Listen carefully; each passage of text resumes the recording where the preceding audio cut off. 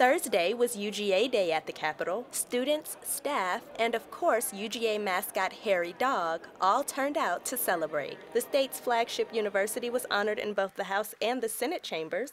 House Speaker David Ralston touted the achievements of outgoing UGA President Dr. Michael Adams. He has um, uh, willed uh, our alma mater and our flagship uh, into leadership ranks in research, academics, uh, to the level that we are now, which is one of the finest, not just finest public universities in the nation, but one of the finest universities in all of the United States. For Primetime Lawmakers, I'm Keosha Howard.